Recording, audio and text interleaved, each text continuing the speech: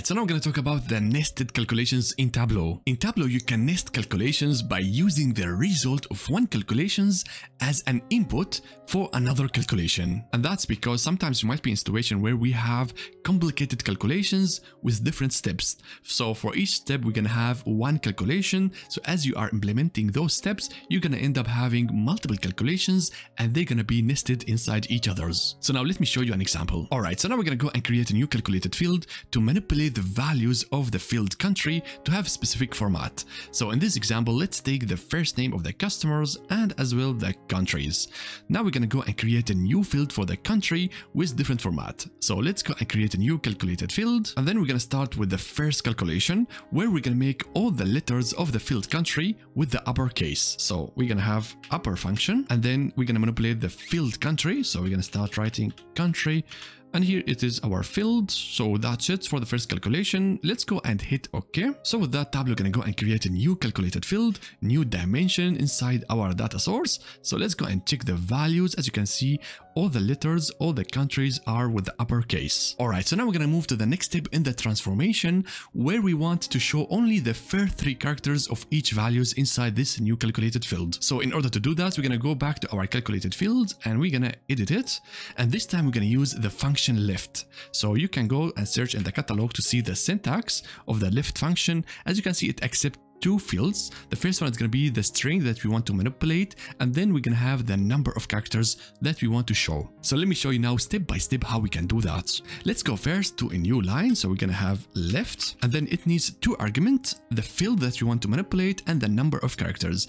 The field that we want to manipulate is going to be the result of the upper function. So it's going to be this one over here. So I'm going to just cut it and insert it over here. So with that, we have the first argument. The second argument is going to be the number of characters that you want to show. It's going to be three characters. That's why we're going to specify three. So this is how we can nest functions in Tableau. The first function to be executed going to be the one inside. So the upper function going to be executed first, and then the result of this function going to be used as an input for the function outside, for the function left. So that means first we're going to go and make all the values inside the country as an uppercase. Then we're going to go and execute the left function where we're going to show only the first three characters. So now let's go and hit apply to check the results. With that you can see we have now only three characters inside the values of the country. So again the function inside to be first executed then the function outside and with that you can further expand this calculated field to more functions. For example let's say the third step we want to go and calculate the length of the characters and in order to do that we can use the len function so we're going to add it at the start and then the input of the field gonna be the output of those two functions. So as you can see, it's very easy to nest functions in Tableau.